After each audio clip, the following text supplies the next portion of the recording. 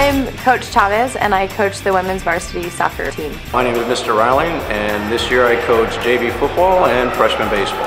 Randy Walker, uh, head boys basketball coach. My name is Sarah Whithelm, and I am the head coach for the women's volleyball program here at Boulder Creek. Hey, I'm Mark Webb. I'm in 11th grade, and I am on the swim team. I'm Grant Link. I'm a senior, and I play tennis. Uh, my name is Michael Contreras. I'm senior here at Boulder Creek. Uh, Josh Braun. I'm a sophomore, and I play basketball at Boulder Creek High School. My name is Lindsay Gregory, and I run track and field and also cross country. I am Zach Brown, and I'm a football player at Boulder Creek High School. Uh, my name is Corey Gillen, and I'm the head wrestling coach. My name's uh, Ryan Zettel, and I play basketball here at Boulder Creek. I'm Brianna, and I play softball. Uh, I'm Jeremy Lord, and I coach girls softball. I became a coach because I played high school and college athletics, and the experiences I had, I'd like to share with other students, and hopefully they can have the same types of experiences that I had. I wanted to coach because I've been into soccer for about 11 years now, and I love coaching high school soccer. I love interacting with the girls and having a good time, teaching them about the passion of the sport and to become lifelong players of soccer. Became a coach to get an opportunity to work with students not only within the classroom but also as a student athlete outside of class and get an opportunity to see what kind of talents they have outside the classroom. I started swim mostly because my friends were on the team, but I didn't realize how many opportunities it would give me and how many more friends I would make. Uh, I started playing tennis because I just took a lesson one day and I fell in love with the sport. Well, when I came in as a freshman, I initially did it to just get in shape for my basketball sport, which is in the winter. But then I realized that I really liked the coach, I liked the program, and I had fun running. So then I sort of got into it just from there. I became a coach because uh, my father was a coach, and I grew up in the gym and, and love sport. I love competition. I love uh, to see kids grow and do something they love to play. I feel really good about what we accomplished this year. Uh, we overcame a lot of adversity and we won the region for a third straight year, which is very difficult to do, and uh, got into the state tournament, which is always our goal. In the uh, last six years, uh, we've accumulated over 130 wins, two top eight finishes at the dual state tournament, four top 10 state finishes at the individual state tournament. We have a couple region championships, we've had three state champs, and six state runners up. So we've had a lot of success in the uh, brief history as a as a varsity team? Uh, I think the football team did very well overall.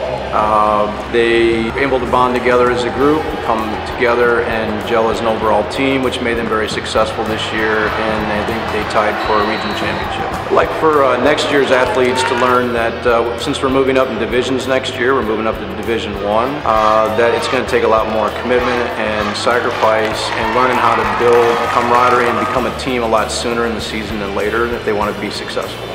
2011, a lot of changes. We're going to Division One, one big division, making a jump, and uh, so looking forward to seeing how the girls are going to rise to the challenge. Well, within our program, we actually have an established study hall for our players. Uh, once a week, they sit down as a team and they work on homework together.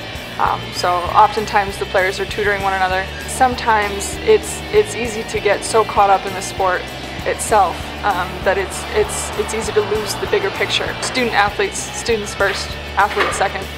Time management. This year I've definitely had to manage my time with my academics, my athletics, and also my club involvement. I mean, sometimes I just feel like I really need to take a break and just breathe and let things happen, but I definitely think this year has been a big learning experience for me, and I think I've really experienced like the first lessons in life about being on time to places and being depended on for different things. Our games normally end around like 5, 5.30, so I still have plenty of time to get all my homework done, but leaving school early for like away games is kind of hard because then you have to make up a lesson. Our last game that we played, we won 21 to 1 and just our team was like really united and we all like kept each other up and we just we played an awesome game. The best thing that's happened for us this year is our game against Valley Vista. They had us down by about 20 runs at one time and we came back and won the game and it was almost a turning point for our whole season. Our team, we won region. I got selected to play in the uh, sophomore all-star game. When you start playing for Coach Walker, it's a huge jump because he expects a lot. He expects you to do your best. I want them to take away that they've had a great experience, uh, but probably most importantly that they've done something that's more than just about themselves and they've taken away uh, uh lessons that they can apply to life. I think basketball teaches us about the game of life. One of the greatest benefits for me is, is getting to interact with kids on a daily basis. Um, you get to take a kid from freshman year to senior year and, and really see them, you know, grow into an adult and hopefully, you know, through your program, uh, go on to be productive citizens. I grew up a lot, seeing how people change, getting relationships with the teachers that you wouldn't think you'd have. They're nice, they're helpful. Um, it's a lot harder than when you're coming up from middle school, but the teachers and everyone here is here to help you. So it, it all works out in the end. I'd like for our uh, student athletes to learn that the games that they play, the practices they endure, the camaraderie they, they build between themselves and teammates can carry over into the real world as far as with their jobs and careers later on in life they're all there for you. I mean, they'll help you out. And if you had a hard week at like practice or something, and you had a late practice because you got in trouble by the coaches or something, and you didn't finish all your work, if you talk to them, they're they're most likely going to be fine with it. And work hard. That's the only thing. I mean, it does take work. I mean, you're like you're gonna have times where you want to quit, but I mean, you just gotta just work through it and stay focused. Our sport requires a lot of work ethic and a lot of physical endurance. Um, I think tennis is a really powerful sport that has really changed my life. It has taught me how to fight for something that you really like and how to really reach your goal physically and mentally. I think tennis has really helped uh, the problem solving aspect of my life and it's taught me a lot of great lessons. I transferred from Oregon for one year. Both schools are actually pretty new, but I feel like Boulder Creek's starting to pick up that tradition. They have more of a winning attitude. We really work hard and we have a lot of fun and uh, we're representing Boulder Creek and we want to compete. We want to compete at the highest level and, and continue to, to build a tradition that uh, people uh, really enjoy watching, both on the court and off. Working with a athlete who struggled with doing a certain thing, a certain task early in the season, and then you see them have some success at that same task later on in the season. Just a look on their face when they know that they did something the right way through their hard work. The boys basketball program is not just about basketball, it's about representing Boulder Creek, that we're part of something bigger than ourselves, and uh, that Boulder Creek will be here when I'm gone, when they're gone, and when their kids are gone. So it's, it's about doing things right and, and helping uh, the program just get better each and every year. I've really learned what commitment is and dedication and discipline is and how through all the challenges that you'll ever face and how that will be worth it at the end. At the end result is just so rewarding that it makes it all worth it. Don't hold back. Sometimes the attitude from 8th grade to freshmen is like, you know, like there are people that want to work hard, but like sometimes it's not the cool thing, but really just go in your own way and be yourself and work hard. Hard as possible is what you can do and just make sure to push yourself and um and it's a four quick years.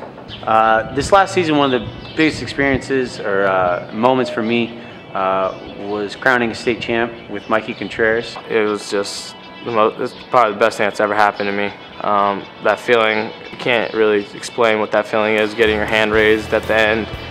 Uh, he had an unbelievable year. Uh, also being uh, crowned the Division One uh, Most Valuable Wrestler for the tournaments, which is a first for our program. Most Outstanding Wrestler of Division One tournament. That just puts some icing on the cake. Um, parents, I would recommend uh, as far as things I'd like to say to the parents. Uh, we have a lot of high quality and high character type coaches here on our coaching staffs and believe in them, support them, do whatever it is that you can to provide not only your, your son or daughter with uh, the means necessary, but put your trust and faith in them that they're going to do the right thing in regards to developing your, your child not only as an athlete, but a student athlete. Bring your kids out to the soccer team, your girls with lots of experience or none experience at all. Uh, we can definitely use players. And no matter if it's soccer or anything else, just get your kids involved in anything in school.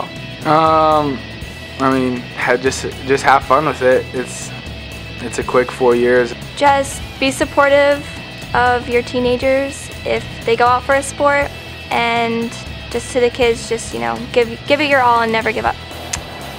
Get pumped. That's probably it